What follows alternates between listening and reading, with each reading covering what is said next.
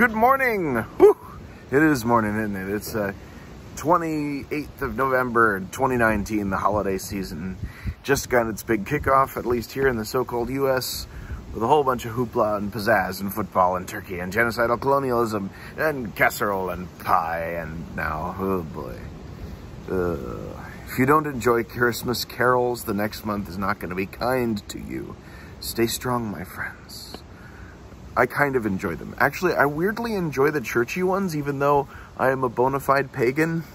Uh, but the holiday season, whatever you celebrate, is a great time to reconnect with friends and family. I know that not everyone has a supportive nuclear family to go to, but whether it's a family of close-knit friends, a blended family, a found family, an intentional community, or whatever else, a family's close bonds of love and affection make us more prone to listen to them for better and for worse.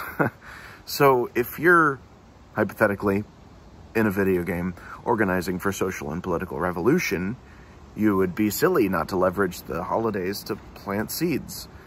You'd be silly not to listen to what issues your family cares about and show how communism, that is to say, stateless classes, moneyless workers on the means of production, you know the drill. And if you don't, well, there are links in the description because we all come to this stuff from different situations. Welcome to BreadTube. I hope you've had as much fun as I've had and more. Um, I hope you can. Uh, I hope you can steer clear of some of the weirder drama and uh, enjoy yourself. And if you've got any questions, please come see me. It's it's all good. Anyhow, you hypothetically in a video game could ask some leading questions around the festive table. Be sure to point these at the people who might actually listen to you. That way, when any reactionary present harumphs at you, they harumph at both of you, establishing solidarity. Uh, focus on causes and conditions more than party politics. Stick to what you know, brush up on whatever you want to discuss.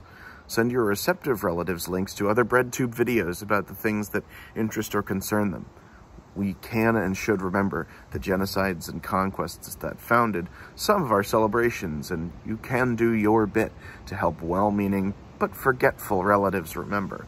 We must be gentle with them. Hopefully, in most cases, this is not like sparring with some troll online, mostly because I'm hoping that these discussions will be with people who sympathize with you, who will listen, and I really hope that these discussions will be effective and potentially change some crucial minds, old and young, near and far.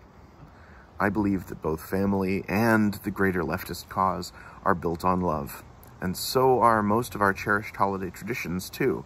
Throughout history, times of celebration have been times to mock the powerful. Oh God, my script says poserful.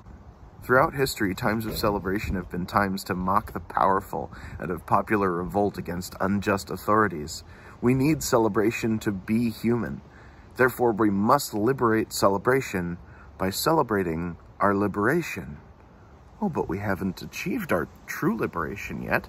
Why celebrate? Well, we will celebrate when we've won against business as usual, right?